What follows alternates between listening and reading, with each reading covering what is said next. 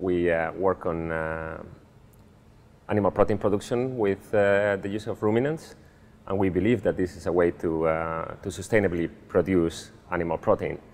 Uh, often, ruminants have been uh, understood as very inefficient animals in terms of transforming natural resources into, into meat or, or milk.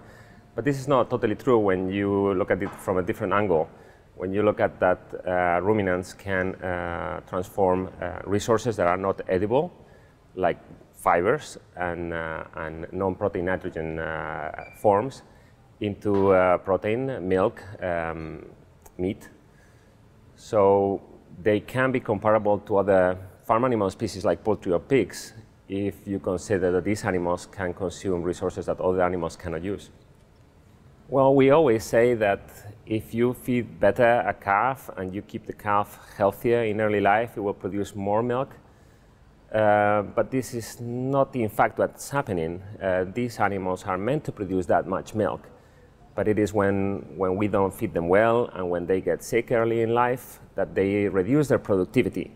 But that has been the rule traditionally in the production system. So when we uh, restore this health and restore this, this restore this adequate uh, nutrition, they, uh, they produce more, but they produce what they are meant to produce. And, uh, and of course, it's just a matter of how you express it. Um, but it is not an increase, it's a restoration of their potential.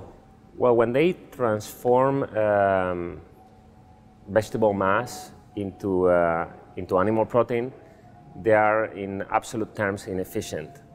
But in, um, in um, net terms, they can be even net producers of protein. And uh, in fact, when they consume uh, grasses, fiber, byproducts, they can turn uh, these raw materials uh, into, uh, into food from resources that are not food.